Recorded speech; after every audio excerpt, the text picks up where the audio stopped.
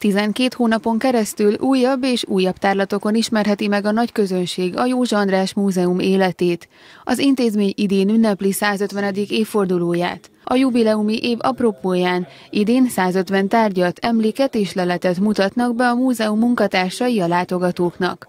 Rémiás Tibor, a múzeum igazgatója kiemelte, a jövőt tekintve az intézmény terve egy olyan katalógus megjelentetése, ahol mind a 150 tárgyat bemutatják. Most egy kamera kiállítás sorozatot indítunk el, a címe Múltunkról a jövőnek, ahol tárgyak, leletek, emlékek jelentkeznek a 150 éves Józsa András Múzeum gyűjteményeiből.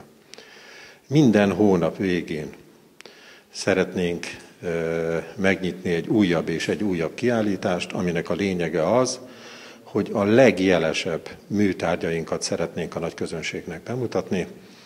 Ma van az, amikor az első három ilyen jeles műtárgyat mutatjuk be, egy régészeti fegyvert, egy néprajzi gyönyörű menyasszonyi ládát, és Józsa András sebészi diplomáját. Az idei tárlatokat minden alkalommal a múzeum munkatársai nyitják meg. Az első kiállítás kurátora Pintje Gábor volt. Az ő feladata a kiállítás forgatókönyv írásától kezdve az egész munkafolyamat felügyelése és menedzselése.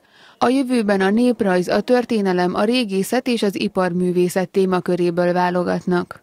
Jelenleg ugye most is három tárgy van kiállítva.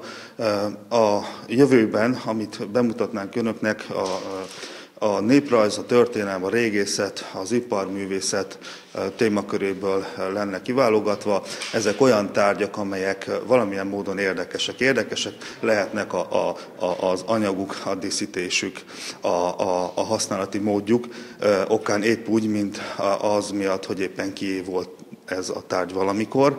Tehát minden tárgynak van egy egyéni története, nem feltétlenül a szépség, hanem a mögöttes jelentés tartalom az, ami, ami, ami, ami miatt fontosak ezek a tárgyak. Természetesen a kiválogatásuk az abszolút szubjektív volt, nyilván a e, múzeológusok, én és a kollégák e, egyéni ízlése szabta meg azt, hogy melyik tárgyat mutatjuk be.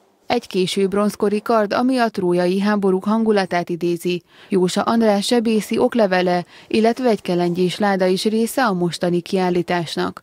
Utóbbi egy nagyon korai darab, 18. századi, ehhez hasonló paraszti bútorok csak ritkán maradnak fenn az utókor számára. Ez a festett láda a tiszta szoba része volt.